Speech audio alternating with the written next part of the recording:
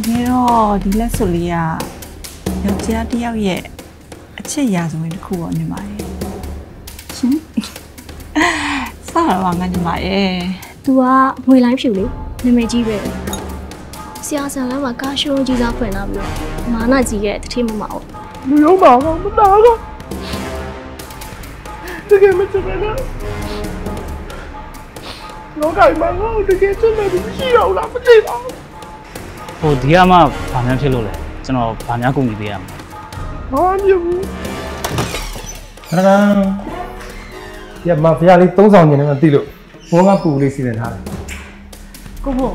ဒီလိုနဲ့ရောက်နေရလဲငင်းရတဲ့လေဝေးနေတာပဲစားချင်လို့တွေးနေတာတော့ပဲဖြစ်သွားပြီကြည့်လေနေနေနေအဲ့ကောင်နေတန်မိုးလို့တန်မိုးနေဒီမှာမိုးနေလက်ပိတ်နေ